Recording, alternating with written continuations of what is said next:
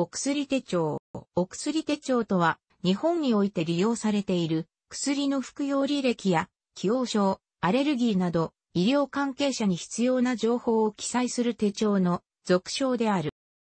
医師、歯科医師や薬剤師が患者がどのような薬をどのくらいの期間使っているのかを確認するために使用する。複数の病院を使う患者の薬物相互作用、飲み合わせの管理にも用いられるため、所有や管理は各患者が行う。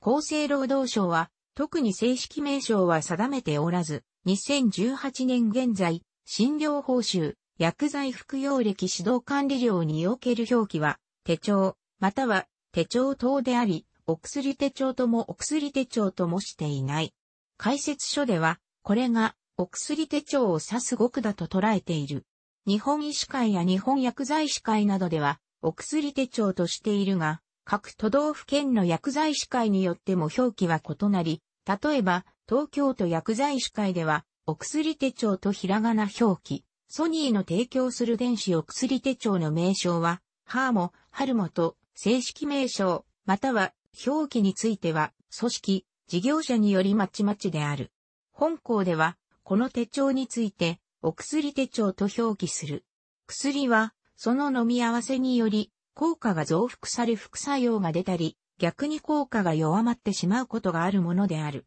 薬局が異なると、相互作用のチェックが行われないことも多く、お薬手帳が普及しつつある今も、薬の多剤併用の問題は解決していない。処方オーダリングシステムを使用している場合、飲み合わせの悪い薬をあらかじめ設定すれば、処方の段階でブロックをかけり警告を表示することが可能だが、他の医療機関で処方されている薬や一般用医薬品に関しては、薬剤師などの専門知識を持つスタッフが確認する必要がある。この確認の際にお薬手帳を利用することができる。また、アレルギー予防効果も期待される。同じ薬で起きるアレルギー反応は、一度目より二度目の方が強い場合があるため、お薬手帳を使って一度起きたアレルギーを予防することは大変重要となる。病院、診療所、歯科医院、薬局に持参して記入と確認を受けることで薬の飲み合わせや副作用を防ぐ。また、入院時に持参すれば入院中の薬の最適な選択のために今まで使っていた薬を参照してもらうことができる。救急外来に行った場合にも、いつも飲んでいるお薬はありますか？と聞かれた際にお薬手帳を提示すればよい。お薬手帳に患者自身が書き込むこともでき、薬の効き目や服用してからの体調変化の記録を記録しておけば、次の診療に役立てることができる。ドラッグストアやコンビニエンスストアで購入した薬の名前などを記入することも推奨されている。患者にとっては何気ないことでも、医療従事者が見れば、副作用の早期発見につながることがあるめ、有用である。また自身の副作用歴、アレルギー歴、起用歴などを記入するページがあるため、健康管理に活用できる。さらに、薬を使用してからの検査結果を記録すれば、薬と検査の結果を関連づけてみることが可能となる。お薬手帳は、1993年、平成5年、日本国内の患者15人が、別々の病院から抗ウイルス剤ソリブジンと、抗がん剤フルオロウラシル 5FU の処方を受け、併用服用して死亡した事件、ソリブジン薬害事件をきっかけとして導入された。別の医療機関から処方されたため併用に気づけず、重篤な副作用が発生したものである。2年後の1995年、平成7年1月17日、阪神、淡路大震災、兵庫県南部地震が発生する。震災後、外傷など急性期の医療が一段落した頃、糖尿病などの慢性疾患の患者に対して継続して行える再現の医療は、それまで服用していたのと同じ薬を提供することであった。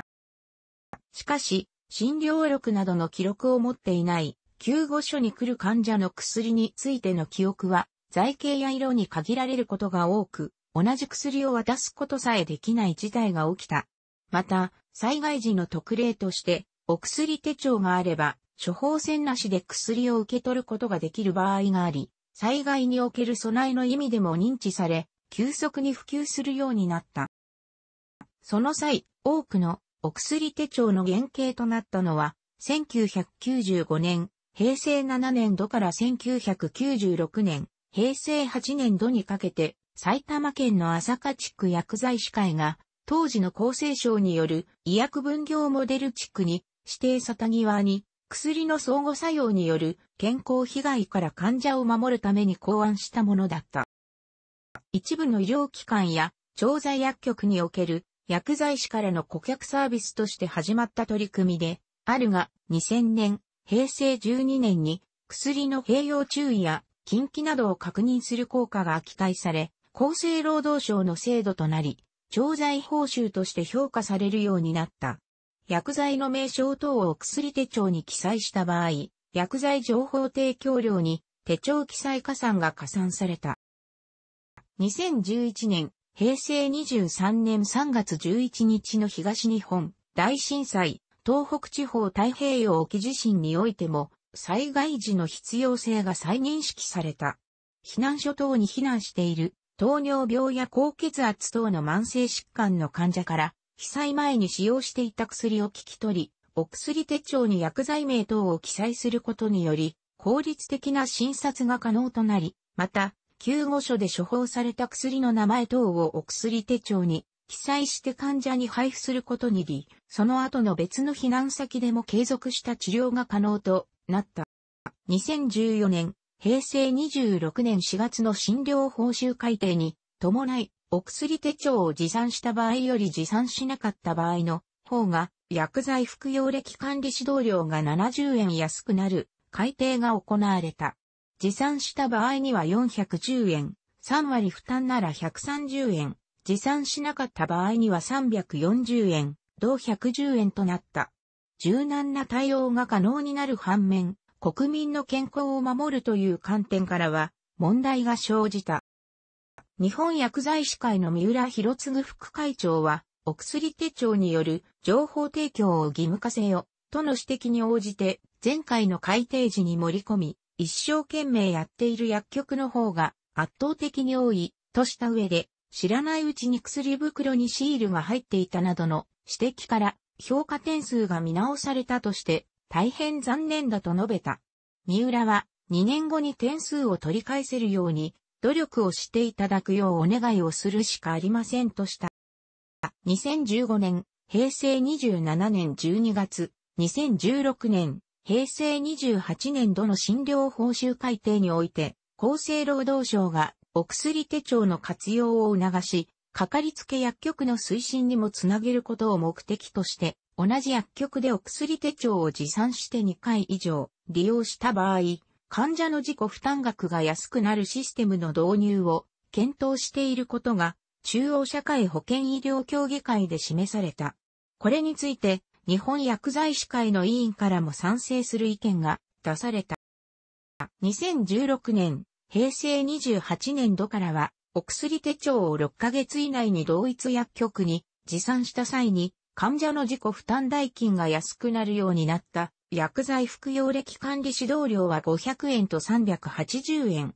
2018年の改定で530円と410円。基本調材料1を算定する保険薬局に限る。